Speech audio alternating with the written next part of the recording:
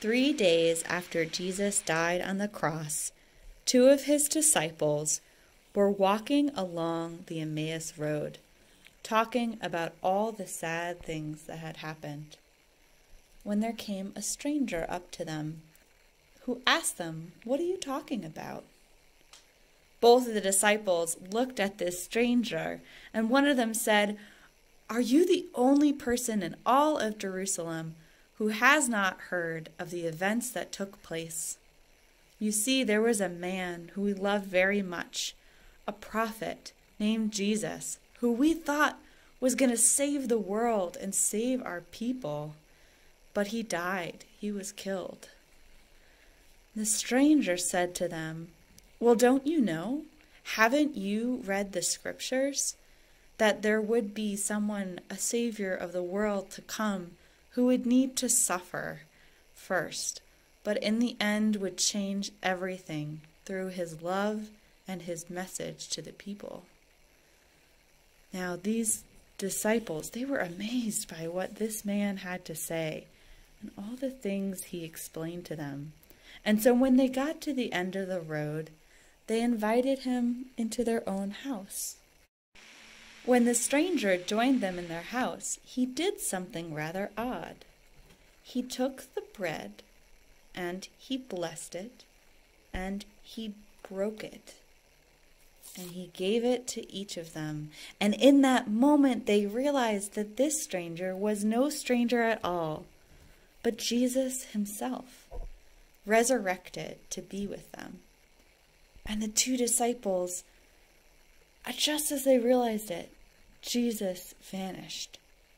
And the two disciples, they looked at one another and they said to each other, It must have been Jesus, for weren't our hearts burning along the way as he spoke with us? There's a fun kind of art called optical illusions where a drawing of one thing is revealed to also be a drawing of another. Here are a few famous examples. This is a drawing of a young woman, but look again. It's also a drawing of an old woman. This is a drawing of a rabbit, but if you look again, it's also a duck. Or here's a drawing, an image of a vase, but if you look from another viewpoint, it's also two faces in profile. Your activity for today is to make a drawing that looks like a drawing of one thing, but if you look closer, there's something new to be revealed. For my drawing, I made a drawing of the two disciples at dinner. But there's a hidden Jesus if we look through the eyes of faith we can see him here at the table where we've invited him.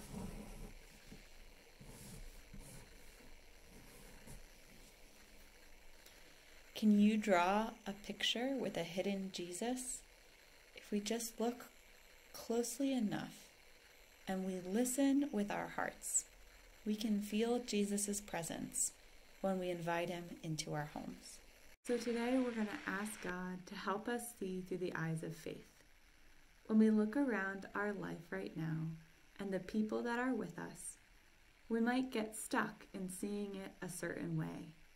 Maybe a way that feels unfair or sad or angering or boring.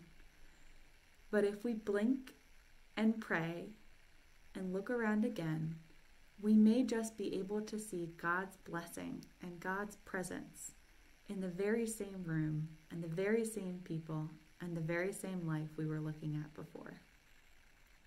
Let us pray. Gracious God, give us the eyes of faith to see you in the world around us, to be grateful for your presence when we're with other people. Help us to trust when our hearts are burning with joy and gladness, and help us to reach for you and continually invite you into our homes.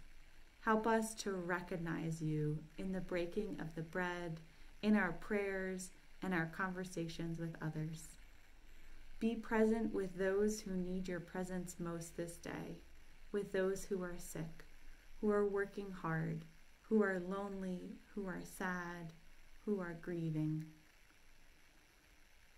Light our hearts on fire, Lord, with your love and your joy and the resurrection of Easter. All these things we ask in Jesus' name. Amen.